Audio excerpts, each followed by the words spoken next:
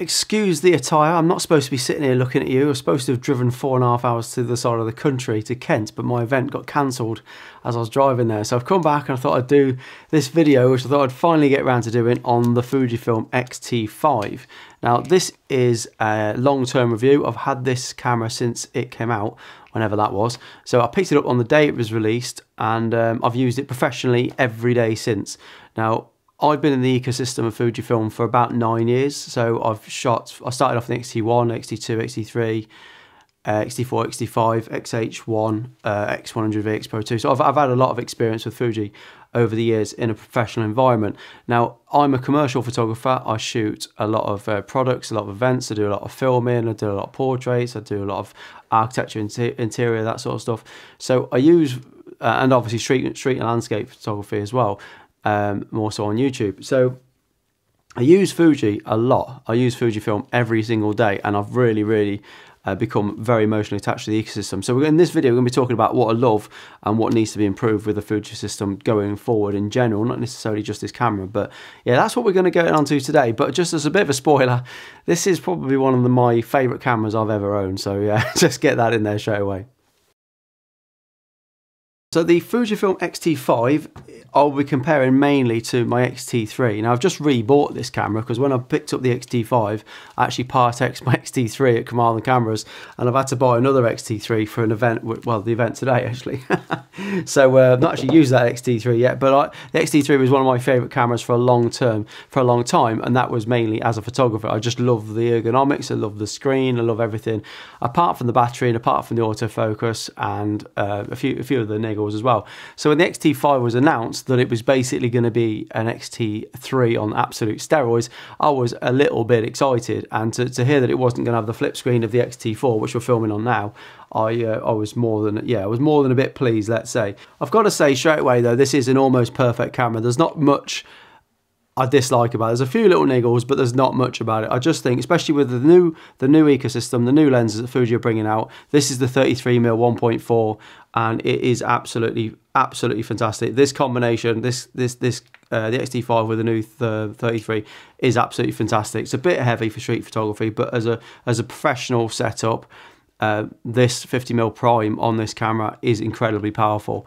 I, I, I really, really do. I'm, this setup I am really happy with. The, the 50, uh, the 33 and that one. The 56 um, I'm not so impressed with, if I'm honest with you, but it is still a phenomenal lens, but doesn't doesn't compete in my opinion with the 33. But yeah, it's still just a wonderful, wonderful uh, setup. Before we get into the good and bad on the camera, I just want to point out my zine. If you want to support the channel and you're new to the channel and you want to help me uh, make more of these videos and you're into street photography, do check out my zine. And also, if you are interested in a workshop or an online workshop or critiquing your images, jump over. I'll put a link in the in the description. You can jump over to the website, have a look, uh, and see if that service is for you. It's a really, really good way of online improving your photography and talking about your street photography, talking about your your goals or landscape photography, whatever it is you want to, or even it's just going through your Fuji system and just uh, helping you familiarize yourself with the cameras and getting a bit more a bit more confident using the actual cameras. But jump over to the website, check out my zine. Uh, I'm on issue two at the minute, so issue three will be coming out next month. So uh, yeah, I'm looking forward to getting that together. So issue uh, one or two has been absolutely phenomenal, phenomenally well received. So I'm really, really grateful for everybody that's downloaded that and supporting the channel. So uh, yeah, thanks so much. Let's get back into it. We'll just touch on the video aspect of the X-T5. It's absolutely fantastic. I know it is because I'm filming on the X-T4 now. I've had that for years. I've used it professionally for lot, loads of my events and, and this sort of video where I can see, no matter what I do, I can see that box is over my face and it never seems to miss focus. So I already love the Fujifilm cameras for video. Absolutely no problem. I love Eterna. I love all the settings that you've got, all the customizability. They're very, very powerful video cameras. Absolutely love them. I've never had an issue, but I don't really use them in very demanding, fast environments that much, if I'm honest. I, I'm kind of a lazy videographer. Um, now, what I did notice on the X-T5, it's got this great big red box, which makes it easier for me to see at distance what I'm filming. And instead of the little, tiny little light there, if I'm at the wrong angle, I can't see that tiny little red light there. But I've got a great big red box that goes around the screen there, which is fantastic. But it also records past 29 minutes, which has been for concerts that when I record a, a piano concert and I can't move at all, it really has been a, Um, oh, well, I could do with five of these. so really good. I'm sure the XH2 is exactly the same, the XH2S, uh, but they, they don't have the record limit, so I can record 45 minutes to an hour on it. I always, always plug in on the side there, I always plug in a USB-C power bank. Um, make sure you buy the PD power banks, plug them straight in there. You're bypassing the battery that's in there. It's fantastic. They think you could just leave these things recording. They're absolutely wonderful. So yeah, little PD power bank on the side. This thing records past 29 minutes. Other than that, I couldn't care less. They're absolutely phenomenal. Really, really love them for video. Now, high ISO was something I was worried about when I first got the camera. There wasn't really any information on it. I have to say, even though it's a higher resolution camera, the ISO hasn't really been affected that much. In some cases, it seems cleaner. It's if there's good light there and the ISO is high, the files look cleaner. I'd say in low light, um, the XT4 probably looks a bit cleaner. It's probably easier to manage. But to be honest with you, you've got more croppability on this when we've got the right lens on, it looks sharper anyway. So it's kind of a trade off of both, whether or not the ISO is actually affected by the megapixels in the camera. It's not anywhere near. It's not worth worrying about if you're thinking about if you're worried about the high ISO being affected by the megapixels. It's absolutely not. Right, AFS, hugely improved. If I'm doing commercial photography and I'm back button focusing on a tripod to get the, um, I always, I'm always in manual. I always back button focus to get the to get the brand's logo sharp or whatever I need to do. When I punch in on the back of the screen using that dial on the back there, when I punch in, the the, the logo is always sharp. It doesn't seem to miss. It it does miss, but doesn't nothing like as bad as XT4. Whereas I would focus shoot, focus shoot, focus shoot on the logo to make sure that I got if I miss one, it would get the next. Um, with this camera, absolutely different story. I can I can reliably back button focus, hit the shutter button, zoom in, and it's sharp. Um, now that's really that's that's lens dependent for sure. I use um, product photography is normally on this 24 uh, what do you call it 16 to 55 or you know the 5140 or say say for example on the 56 mil that that sort of basic setup. Um, and I find it works really, really well. I, I have to say that on the, some of the other lenses, it doesn't work so well, but I do find it works well. So single acquisition, single focus acquisition is massively improved. In low light, it's massively improved. Um, and I just trust it more. I autofocus and continuous autofocus still feels it's a lot better than than it was on the XT4. I'd never use eye autofocus, and on the X100V, you can freaking forget it. Um, it, but this I, I, would use eye autofocus. In fact, I do actually use what that custom button at the top there to assign that to switch between eye autofocus and off. Um, so it is definitely usable on the this 33 mil. It's absolutely it is probably the best setup for eye autofocus. I don't even think it's that good on the new 56. If I'm honest, I think a lot of people are saying that it is. In continue in single it's fine but not continuous. Um, it, if i'm trying to take photographs of the kids running around i just don't find it works that well at all um, being honest now if, if i could ask fuji one thing it'd be literally just to don't do any more new cameras for the next five years and just concentrate on getting this focusing algorithm right because I know that the lenses are capable. It's not the lenses because the new lenses are phenomenal. It's just something going on with the with the um, the algorithm in continuous autofocus. Now I'm not a sports photographer, but I do do weddings and events, and continuous autofocus is so important. Um, but it's so important that it's reliable. So that is probably one of my only things about the camera is the continuous autofocus. Um, but I will say that it is massively improved over the XT4 and it's definitely improved over in low light as well. So altogether, I'm sort of 8 out of 10 happy with it. I wouldn't, it's not a reason not to buy the camera, but it's it's definitely something I, need to, I do need to address and be a bit more honest about. One of the reasons anybody buys a Fujifilm camera is the ergonomics in it. It's just unbeatable. They are absolutely beautiful cameras to use. They're lovely looking things, obviously, but they're just they're just inspiring to use. You want to shoot with them, and the XT5 is probably the best of it. Now, the only thing I've said, oh, you can see there, I've put the grip on the bottom. This uh, is a SmallRig um, L bracket sort of thing. I've taken that bit off, but it is an L bracket because I've got very very big hands, and it for me. It, it would be like it'd be like that. If, if I didn't have a grip on it it's just it's just too small. Now that aside once you've got the grip on it and which obviously protects the bottom of the camera and gives it a bit more weight balances it a little bit better gives you a bit of a workout at the same time. Once you've got your head around that the ergonomics the button layout the customize customization abilities in Fujifilm cameras particularly the X-T5 is absolutely unbelievable. I just I can't fault them for that. if anything, I'd like one more button in, in the top there. But every single button I've got I've got uh, assigned on this. I've got if I'm in video mode, I've got them assigned. If I've got them in stills mode, I've got them assigned, and I use every single one of them. It's definitely one of my favorite things about being a Fuji shooter is how customizable, how tactile I can see my my exposure triangle. You know, I just love it, and I'd, I'd never want to leave this system. Now, what I would like is it when I'm in video mode, which I'm in today because I was supposed to be filming that event, if I went to stills now, these some of these buttons won't work because I've had to assign them. And every time I'm using this camera professionally for video I have to reassign two of these buttons two of these G-pad buttons to, to make sense for video. But then if I flick back to stills or flick back the other way wherever I'm that, they're not they're not there because they don't work in in that mode. So it'd be nice if the camera remembered the the customization for video. And then when you flick to stills it would remember what they were for stills. Other than that I'd definitely give Fujifilm 10 out of 10 um, um, I, my opinion is obviously make the make the make the bodies a little bit bigger, but look how easy it is to rectify that. One of the things I initially was worried about when I first got the camera was the compatibility with some of the lenses, some of the older lenses. Uh, I'm filming on the 10 to 24 Fuji now on the X-T4. That's a really, really good lens, but it's never been one of my favorites because uh, I've always known it's had a limitation as far as being sharp. It's not it's not the sharpest Fuji lens I own, and I've known that. And on the 24, 26, whatever it is, megapixel XT4, it's never or XT3, it's never been really that much of an issue. It's easy to sharp.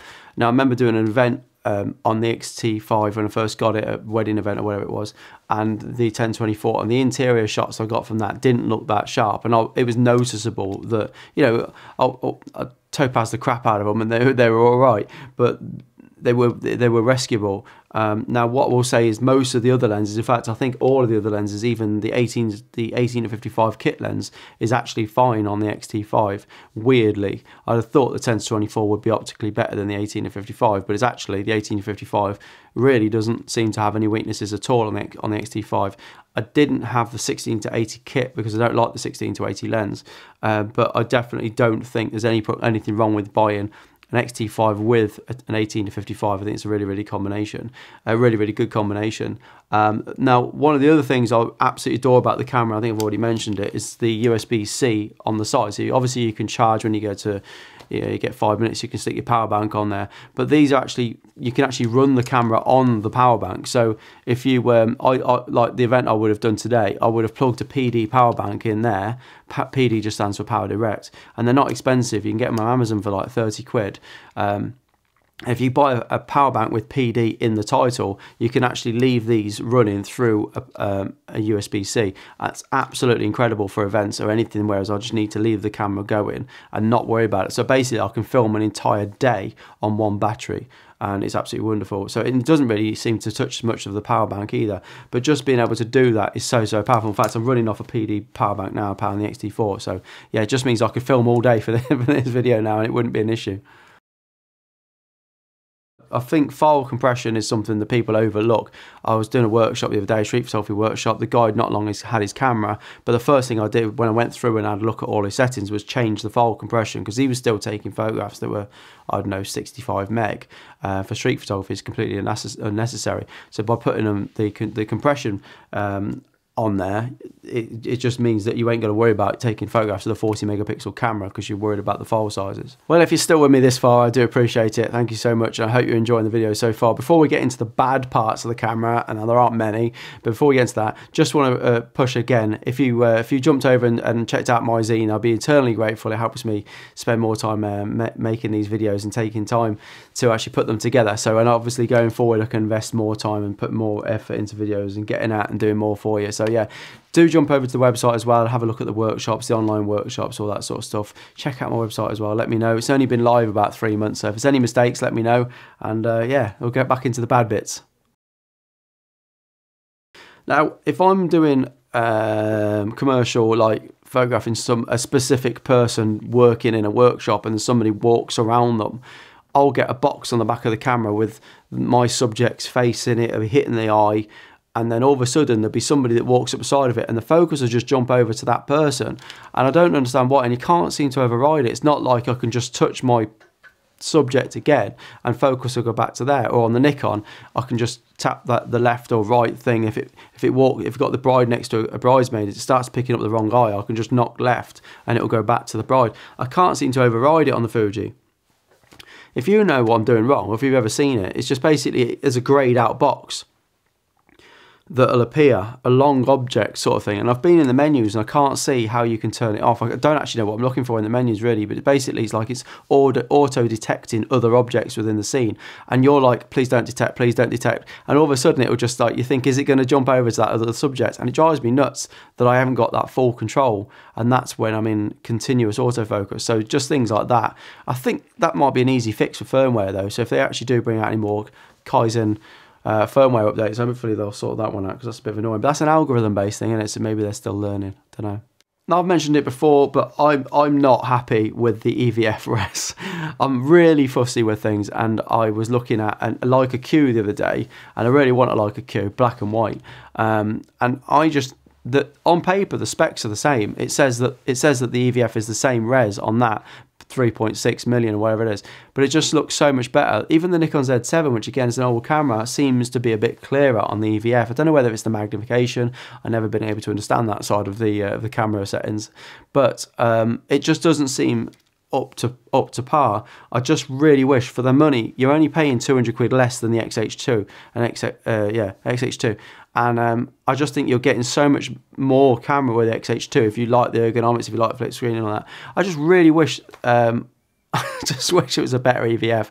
I was just desperate for a better EVF, and it's it, it's not bad. It's, it's it's a lovely camera to use. You don't really notice it that much. But when I go to the XT4 or the XT3, I don't actually feel that the XT3 is garbage or the XT4 is garbage compared to this, and that's that's the way it should be. It should feel like the XT4, the XT4 and 3 are nowhere as good as this as far as EVF, um, but it's not. that's good in a way because if I get to an event and uh, all my cameras seem uh, the same, it's it's nice. But at the same time, you work, you do want the newer camera to feel better, don't you? As I mentioned, performance on this is lens dependent. So for me, the uh, 56 Mark II, 56 mm Mark II, which I absolutely love that lens. It's such a powerful lens. It's just it just doesn't give me the 85 mm tracking capabilities that I'd want if I was a portrait photographer. So that's one of the things that annoys me. Um, I don't think that lens has got the focus ability that the camera's got, whereas this lens is absolutely phenomenal. So I am looking at the Viltrox 75mm, which Viltrox have offered to send me to see if that's any better for focusing. The other thing is the 1024, as I mentioned, I just wish that. I mean, I'll probably have to buy the Viltrox 13mm uh, for, for my architectural interiors and kitchens, that sort of thing, because I just don't feel the 1024 is sharp enough or take the 1024, use the 1024 on the XT3 and upscale the photographs. You know, obviously just do that and then topaz the crap out of those files as well. And you know, we'll end up with. I'm not. I'm not a rep for topaz at all. It's just really, really good software. So um, yeah, I just wish that all the lenses were a bit more compatible. But I get that it's a new that it's new sensor and it's going forward. And the old lenses were 20. They were built for. I think they. I think they. Um, what's the word? They re- resolve is resolve is that the right? Um, up to about 30 megapixels. So they're not far off, but I think it's just over 30 megapixel that the old lenses resolve. I will say uh, for sports photography again, it's not got the buffer. Absolutely not. The buffer fills up on it really, really quick and it's no problem for me. It absolutely is no issue for me. I literally do uh, at a wedding. I'll shoot five frames a second or eight frames a second. It's absolutely no problem. Couple of uh, couple of bursts, stop. And as long as you've got good fast cards in there, you're all right. I just wish, um, I just wish that was. I mean, I assume it's well, it's a lot better on the XH2 in it. So if you want a better buffer, you get in the XH2. Simple as that. Now on the XT3, one of my favourite things of the XT3 was the cable for the camera for the cable release is there on the XT3. See that? I don't think it's sharp. So it's there. So if you do landscape photography and you've got your cam, you, you've got your screen like that, your cable release goes in the top there. On the XT on the XT4 and XT5, it's down here. So if you've got your L bracket on a tripod, you can't access that. There must be a reason why they've done it, but it's it's there on. Um, what is it? It's down the bottom anyway. It's down the bottom there on there. I just, oh, why do they do that? I mean, please just on the XT6 or XT10 or whatever it is, just put it back up there where it belongs. It's so much flipping easier. Right, the My menu on this thing. When you buy a Fuji camera, one of the first things you need to do is to go in and create a My menu. So that's that. So basically at the bottom of your thing, you've got this My menu and you can just customize the crap out of it and it's phenomenal. But if I go out of that and go up there, up to video or something, then press menu again, it goes back to video. It doesn't go. I want it. In a way, it's good that it remembers where I was, but I'd like it to go to my menu every time, like it does on the XT3 and I think the XT4. So every time I press menu, it goes into my menu, which I can assign everything that I want in the frigging menu. That's the point of it. So it doesn't do it on the XT5, and I, again, I'm hoping that's a firmware thing and they can fix it. Please. To conclude, I'm in love with the camera. I am absolutely in love with the camera. I give it sort of well, I give it 10 out of 10 for a stills camera for the way I shoot because I flipping love it. The battery's amazing, IBIS is amazing, focus is single focus is amazing, which suits me. Um, the way I shoot is absolutely fantastic. If my kids are running around, I start to get a bit nervous because I don't want to miss any of their photographs. Um, often taking pictures of the kids and stuff like that. I want to, I want to make sure I'm not going to miss anything because it does it does upset me when when pictures of my kids miss more so than my commercial work actually. But um, does annoy them. Obviously, you've got the user experience. The ergonomics is amazing. The Fuji colors are amazing. Uh, the compact size, the power to size ratio, if that makes any sense. The value for money. What's in that, honestly, is unbelievable for the money. It is unbelievable. Uh, I don't even think the lenses are that expensive, to be honest with you, but I just think it's an incredibly powerful work workhorse and it's obviously got the two memory cards as well. I'm going to mention the two memory cards. I like cameras all cameras now to have a built-in memory. I don't understand why my, my drone which is two years old has got a built-in memory. I don't understand why everything nothing these cameras don't have built-in memories but other than that it's fantastic. What else is there? Um, i love me fuji colors i love me fast minimal editing. I love the fact that if a customer says to me can we have the photographs from the event at the end of the evening? I can say yes i can get them right in camera. I can give them the jpegs. Everybody's happy. No editing for me. If there is any editing it's very very minor. Fuji colors are amazing. Just shoot everything in classic chrome and jobs jobs a good one. Um, absolutely wonderful. You don't need to edit anything. I, I love uh, I love the things. Um, for for for street photography, for weddings, for events, it's fantastic. Uh, the res upgrade is a huge huge thing for me. I love the fact that all my all the details seems to be a lot more professional looking. I don't struggle to edit them to get them nice and sharp and everything like that. Um, yeah, absolutely lovely. Uh, and and obviously got still got me screen, my, my XT3 screen, which I couldn't be happy about. That is it. I think just needs a better EVF and the up, up update the the uh, algorithms for the um, I, uh, AFC, continuous autofocus. Might have been my mind went blank now. Continuous autofocus. So yeah, let me know um, what you think of that. I hope that video wasn't too long. It was a freaking lot here. I'm probably gonna have to delete half of it. Um, but yeah, it's just a wonderful, wonderful camera. And if you are thinking about getting it, um, you'll love it. So hopefully that you found that useful, and uh, I'll see you in the next one. Don't forget to check out my zine if you're into street photography. If you're not into street photography and you want to learn how to um, use your camera and how to become a better photographer, there is no better way than um, than street photography. Is the ultimate way of learning how to use your camera, setting your camera up your way, and understanding photography and being ready to see a shot and uh, getting you out and about. So yeah, street photography is a must. If you've never tried it, give it a go. See you in the next one, guys. Thanks for watching.